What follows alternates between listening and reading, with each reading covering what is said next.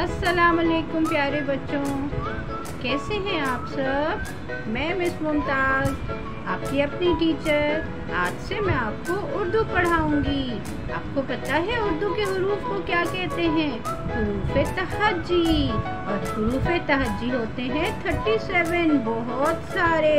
सैतीस। हम धीरे धीरे पढ़ेंगे। आज हम पढ़ेंगे पहला हुर्फ, अलिफ।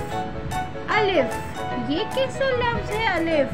अरे, ये तो पतली सी लाइन है। ये तो ऊपर से नीचे आओ नीचे आओ, रुक जाओ। ऊपर से नीचे आओ नीचे आओ, रुक जाओ। ये क्या बन गया? अलिफ। क्या बना? अलिफ। कैसी आवाज़ है इसकी? आधा मुँह खोलेंगे। आ आ। आ से अम्मी आ से अबू आ से अल्लाह आ से अलमारी आ से स्त्री अलिफ कैसे लिखते हैं? ऊपर से नीचे आओ नीचे आओ, रुक जाओ। नुक्ते से शुरू करेंगे। जब हम लिखना सीखेंगे ना, फिर मैं आपके को बताऊँगी। ये बिल्कुल सीधी लकीर होती है, जिसको हम कहते हैं अलिफ। जिसको हम कहते हैं अलिफ। और आपको पता है, अलिफ का जो एक पार्टनर होता है, वो कौन होता है?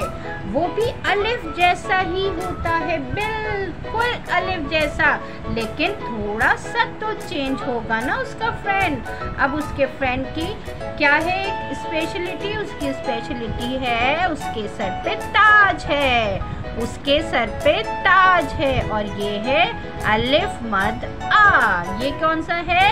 अलिफ मद आ। और अलिफ मदा की आवाज़ कैसे होगी? पूरा मुँह खोलना है। आ। पूरा मुँह कैसे खोलेंगे? आ। ये आधा मुँह खोलेंगे तो इसकी आवाज़ बनेगी आ और इसकी आवाज़ बनेगी आ। अलिफ मदा से आड़ू। अलिफ मदा से आम। अलिफ मदा से आगा। अलिफ मदा से आग। अलिफ मदा से आरा। कैसे लिखते हैं अलिफ मदा? ऊपर से नीचे आओ, फिर नीचे आओ, रुक जाओ और उसके ऊपर मत बना दो। मत कैसा होता है? बिल्कुल लहरे की लहर की तरह यूँ करके थोड़ा सा नीचे आए, ऊपर गए, नीचे आए। हमने जिगजैग पढ़ा था ना? बस उसी तरीके से ये जिगजैग लाइन जैसा नहीं है, ये थोड़ा कर्व है। मद, अलिफ मद, आ आ, अलिफ मद, आ, अलिफ, अ, अलिफ मद, आ। चलें बच्चों, अब हम सीखते हैं अलिफ की लिखाई। अलिफ की लिखाई कैसे करते हैं? पहले हम सेमोलिना ट्रे पे करेंगे। ये है अलिफ। अलिफ, ऊपर से नीचे जाओ नीचे जाओ, रुक जाओ। ऊपर से नीचे जाओ नीचे जाओ, रुक जाओ। ऊपर से नीचे जाओ नीचे जाओ, रुक जाओ।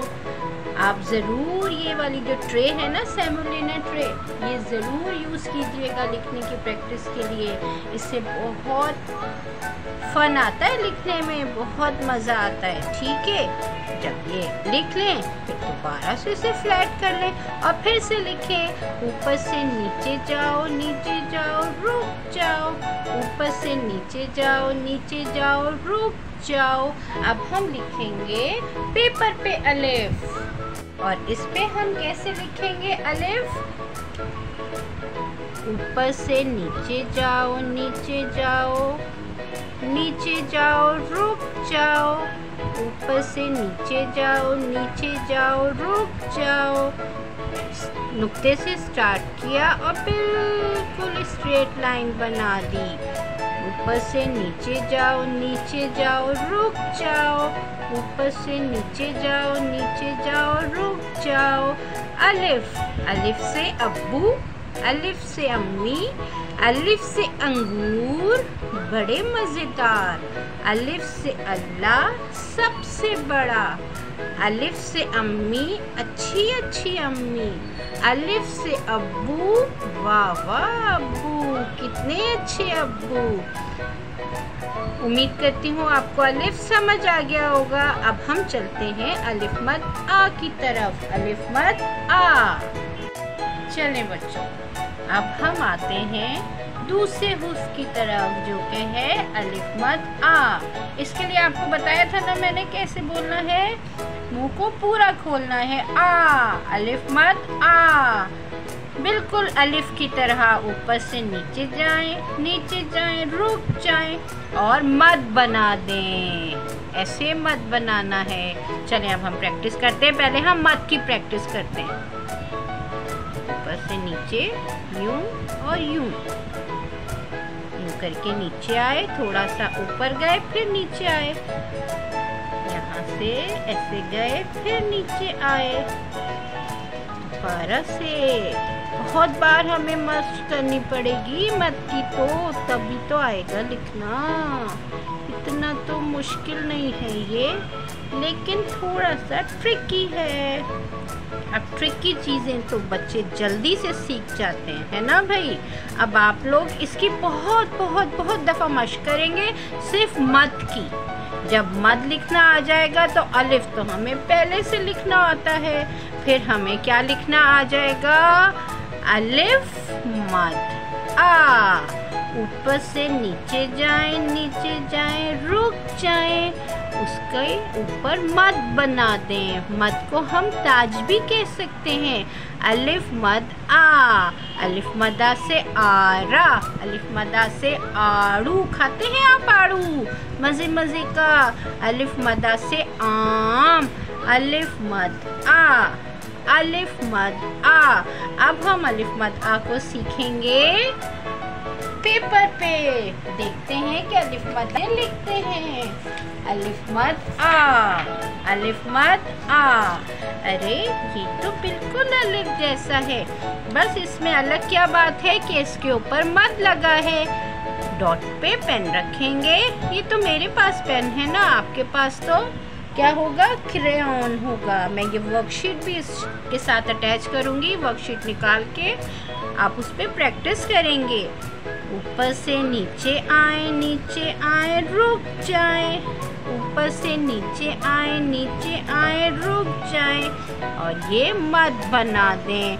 मत की प्रैक्टिस तो हमने सेमुलिना ट्रे पे बहुत दफ़ा कर ली है है ना? ऊपर से नीचे आए नीचे आए, रुक जाए। और मत बना दें। मत, अलिफ मदा की आवाज़ कैसी थी? आ, पूरा मुँह खोल के। अलिफ मदा से आड़ू, अलिफ मदा से आम। ठीक है बच्चों? आज हमने अलिफ और अलिफ मद आ सीखा। क्या सीखा हमने? अलिफ सीखा और अलिफ मद आ सीखा। हमने ये दोनों वर्ड सीखे और उम्मीद करती हूँ कि आपको समझ आए होंगे। मज़ीद कोई वर्कशीट चाहिए हो, इसकी मज़ीद प्रैक्टिस के लिए तो do comment I will provide you tata bye bye